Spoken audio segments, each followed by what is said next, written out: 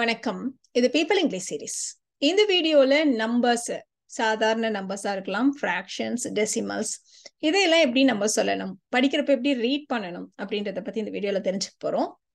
சாதாரணமா நம்பர்ஸ் அப்படிங்கிறப்போ நாம பிரிட்டிஷ் இங்கிலீஷ் ஸ்டைலில் தான் நம்ம சொல்லுவோம். இப்போ ஃபைவ் டுவெண்ட்டி ஃபோர் இந்த நம்பரை நம்ம சாதாரணமா எப்படி சொல்லுவோம்? Five hundred and twenty four five hundred and twenty four இந்த மாதிரி ஒரு அண்டு சேர்த்து சொல்லுவோம். இது பிரிட்டிஷ் இங்கிலீஷ் அமெரிக்கன் இங்கிலீஷ்ல இந்த அண்டு இல்லாம சொல்லுவாங்க. ஃபைவ் ஹண்ட்ரட் டுவெண்ட்டி ஃபோர் இப்படிதான் சொல்லுவாங்க? இப்போ வந்து ஒரு நம்பர் இருக்கு. Seven thousand eight hundred and twenty six அப்படி நம்ம சொல்லுவோம். அமெரிக்கன் இங்கிலீஷ்ல seven thousand eight hundred twenty six இப்படிதான் சொல்லுவாங்க. அண்டுன்ற அந்த வார்த்தை மட்டும் இருக்காது. இப்போ ரோமன் நியூமரல்ஸ் ரோமன் நியூமரல்ஸை நம்ம வந்து ரெண்டு விதமா யூஸ் பண்ணுவோம். நம்ம ஃபர்ஸ்ட் பார்க்க போறது வந்து ஆர்டினல் நம்பர்ஸ் அப்படின்னு சொல்லுவோம். ஆர்டினல் நம்பர்ஸ்னா பொசிஷன் சொல்லுவோம் இல்லையா? ஃபர்ஸ்ட் செகண்ட் தேர்டு ஃபோர்த்து இந்த மாதிரி வச்சு சொல்றது. பொதுவா கிங்ஸ் அண்ட் குயின்ஸோட பேருக்கு பின்னாடி நாம இந்த மாதிரி தான் சொல்லணும். இப்போ எலிசபெத் டூ இந்த மாதிரி போட்டிருக்காங்க. ரோமன் லெட்டர்ல போட்டிருக்காங்க. இதை எலிசபெத் டூ அப்படி நம்ம சொல்லக்கூடாது ரீட் பண்ணக்கூடாது. எலிசபெத் தி செகண்ட் அப்படிதான் நம்ம சொல்லணும். அதே மாதிரி ஹென்ரி எயிட் இல்ல ஹென்ரி த எய்த் இதை வந்து லூயிஸ்ன்னு ப்ரொனவுன்ஸ் பண்ணக்கூடாது Louis. So Louis the fourteenth இப்படிதான் நம்ம சொல்லணும். ஸோ கிங்ஸ் அண்ட் குயின்ஸோட பேருக்கு பின்னாடி நம்ம வந்து ஃபர்ஸ்ட் செகண்ட் தேர்டு இந்த மாதிரி ஆர்டினல் நம்பர்ஸ் வச்சு சொன்னோம். மற்ற இடங்கள்ல ரோமன் நியூமரல்ஸ் ரெண்டு விதமாகவும் நம்ம யூஸ் பண்ணுவோம். ஒன்னு கார்டினல் நம்பர்ஸ் கார்டினல் நம்பர்ஸ்னா ஒன் டூ த்ரீன்னு சொல்லுவோம் இல்லையா? இந்த மாதிரி. ஒரு நவுன் இருக்கு. இந்த நவுனுக்கு பின்னாடி சொல்லணும் அப்படின்னா ஜென்ரலா நம்ம கார்டினல் நம்பர்ஸா தான் சொல்லுவோம். கிங்ஸ் அண்ட் குயின்ஸோட பேர் மட்டும் டிஃப்ரெண்ட்டு அது மட்டும் எக்ஸப்ஷன் அதை விட்டுடுங்க. மற்ற இடங்கள்ல நம்ம நவுனுக்கு பின்னாடி சொல்றப்போ நம்ம ஒன் டூ த்ரீன்னு சொல்லுவோம். நவுனுக்கு முன்னாடி வச்சு சொல்றப்போ முன்னாடியே சொன்ன மாதிரி ordinal numbers first second third இந்த மாதிரி வச்சு சொல்லுவோம். இது வந்து நவுனுக்கு முன்னாடி இருக்கிறப்ப தான். எக்ஸாம்பிள் பாருங்களேன். இதை நம்ம ஜென்ரலா வாசிக்கிற மாதிரி சாப்டர் த்ரீ அப்படியே வாசிக்கலாம். இல்லைன்னா தேர்ட் சாப்டர் இங்க பாருங்க நவுனுக்கு முன்னாடி இருக்கப்ப நம்ம தேர்ட் சாப்டர் அப்படின்னு நம்ம சொல்றோம். அதே மாதிரி இது பாருங்க கொஸ்டின் சிக்ஸ் அப்படி சொல்லலாம். பின்னாடி இருக்கு. நவுனுக்கு பின்னாடி இருக்கிறப்போ சாதாரண நம்பர் நவுனுக்கு முன்னாடி இருக்கிறப்ப தான் நம்ம சிக்ஸ்த் கொஷன் அப்படின்னு சொல்றோம்.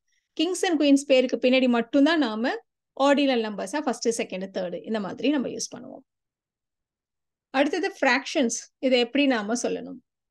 ஃபர்ஸ்ட் நம்ம பார்க்க போறது இந்த மேல உள்ள நம்பர் நியூமரேட்டர்னு சொல்லுவோம். இது வந்து ஒன்னா இருக்கிறப்போ அப்படி இருந்ததானா நம்ம வந்து அ அப்படின்னு போட்டுட்டு கீழே இருக்க நம்பருக்கு ஏத்த மாதிரி நம்ம சொல்லணும். இப்ப த்ரீனா தேர்டுன்னு சொல்லணும். ஃபோர்னா ஃபோர்த்துன்னு சொல்லணும். ஃபைவ்னா ஃபிஃப்த்னு சொல்லணும். அந்த மாதிரி. ஸோ இங்க ஒன் பை த்ரீன்னு இருக்கு. இதை நம்ம அ தேர்ட் அப்படின்னு நம்ம சொல்லுவோம். இல்லைன்னா ஒன் தேர்ட் அப்படின்னு நம்ம சொல்லுவோம். எழுதுறப்போ ஒன் தேர்டு நம்ம எழுதுறதா இருந்தா நடுவில் ஒரு ஹைஃபன் போட்டுப்போம். அதே மாதிரி இதை பாருங்க. அ ஃபிஃப்த் அப்படி இல்லைன்னா ஒன் ஃபிஃப்த் இப்போ எயிட் வர்றப்போ மட்டும் ஏ அப்படின்னு வர்றதுனால நம்ம முன்னாடி ஆர்டிகல் வந்து ஆனன்னு போட்டிருக்கோம். ஆன் எயித் இல்லைன்னா ஒன் எயித் ஸோ இதுக்கப்புறம் ரொம்ப காமனான சில ஃப்ராக்ஷன்ஸ் இருக்கு. நம்ம தமிழ்லயே கால் அரை முக்கால் இந்த மாதிரி சொல்லுவோம் இல்லையா? ஸோ அந்த மாதிரியான நம்பர்ஸ் இதை நம்ம அ ஹாஃப் அப்படின்னு சொல்லுவோம். இல்லை ஒன் ஹாஃப் அப்படி சொல்லலாம்.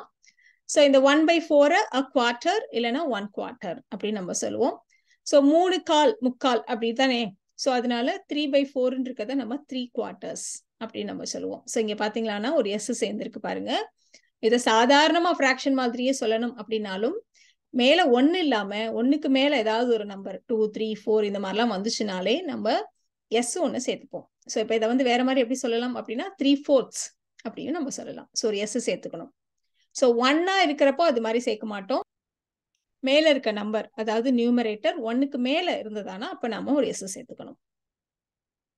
இப்போ இதை எப்படி சொல்றோம் பாருங்க. மேல மேல டூன்னு இருக்கு. ஸோ டூ ஃபிஃப்த்ஸ் எஸ் சேர்த்துட்டு இருக்கோம் அதே மாதிரி three sevenths eleven fifteenth so இந்த மாதிரிலாம் நம்ம சொல்லலாம். இப்போ ஒருவேளை ரொம்ப பெரிய நம்பரா இருந்துச்சு அப்படின்னா அந்த சமயங்கள்ல நம்ம ஓவர் அப்படின்னு வச்சு சொல்லுவோம். இப்ப பாத்தீங்களா இத three hundred and twenty three over four hundred and fifty இந்த மாதிரி நம்ம சொல்லிடலாம். அடுத்தது சில சமயங்கள்ல ஒரு முழு நம்பரும் ஃப்ராக்ஷனும் சேர்ந்தாப்புல வரும். மிக்சட் ஃப்ராக்ஷன் ஸோ இந்த மாதிரி வந்ததானா? முழு நம்பரை சொல்லிட்டு அண்டு ஃப்ராக்ஷனை நம்ம சொல்லணும். Four and three sevenths four and three sevenths அடுத்தது டெசிமல் நம்பர்ஸ் இந்த மாதிரி புள்ளி வச்சு வர நம்பர்ஸை நிறைய பேர் கரெக்டாக தான் ப்ரொனவுன்ஸ் பண்ணுவாங்க. இப்போ இதை நாம four point two three four இந்த மாதிரி புள்ளிக்கு அப்புறம் உள்ள நம்பர்ஸை நம்ம வந்து தனித்தனியாக தான் சொல்லணும். இதை வந்து four point two thirty four four point two hundred and thirty four இந்த மாதிரிலாம் சொல்லக்கூடாது. அதே மாதிரி இதை நாம த்ரீ பாயிண்ட் செவன் ஃபைவ்னு தான் சொல்லணும். த்ரீ பாயிண்ட் செவன்டி ஃபைவ்னு சொல்லக்கூடாது. இப்போ சில சென்டென்சஸ் பார்க்கலாம். ஸோ ஒரு நிகழ்ச்சியில பார்ட்டிசிபேட் பண்ற ஸ்டூடெண்ட்ஸ் அதுல மூன்றில் ஒரு பங்கு மாணவர்கள் தமிழகத்தை சேர்ந்தவர்கள் அப்படின்னு நம்ம சொல்ல போறோம். ஸோ மூணில் ஒரு பங்கு அப்படின்னா ஒன் பை த்ரீ அதுதான் நம்ம அ தேர்ட் அப்படின்னு நம்ம சொல்றோம். ஸோ இந்த மாதிரி நவுனோட சேர்க்கிறப்ப அ தேர்ட் ஆஃப் அப்படிதான் நம்ம சேர்த்துப்போம். ஒரு ஆஃப் சேர்த்துப்போம். ஸோ மூன்றில் ஒரு பங்கு மாணவர்கள் அப்படின்னு சொல்றப்ப a third of the students are from Tamil Nadu. இப்போ பஸ் வந்து இன்னும் ஒரு கால் மணி நேரத்துல கிளம்பிடும். ஸோ ஒரு மணி நேரத்துல கால் மணி நேரம் அப்படின்னு சொல்றப்ப a quarter of an hour the bus leaves in a quarter of an hour இப்போ ஒரு இடத்துக்கு போறீங்க. How long it will take அப்படின்னு கேக்குறீங்கன்னா எவ்வளவு நேரம் ஆகும்? ஒரு முக்கால் மணி நேரம் ஆகும். It will take three quarters of an hour it will take three quarters of an hour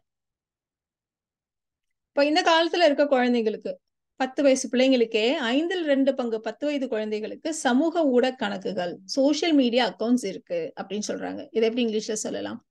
Two fifths of ten year olds have social media accounts so இந்த வீடியோல நாம ஃப்ராக்ஷன்ஸ் டெசிமல்ஸ் ரோமன் நியூமரல்ஸ் இதெல்லாம் எப்படி இங்கிலீஷ்ல சொல்றது அப்படின்றத தெரிஞ்சுக்கிட்டோம். இந்த வீடியோ உங்களுக்கு யூஸ்ஃபுல்லா இருக்கும்னு நினைக்கிறேன். Thank you so much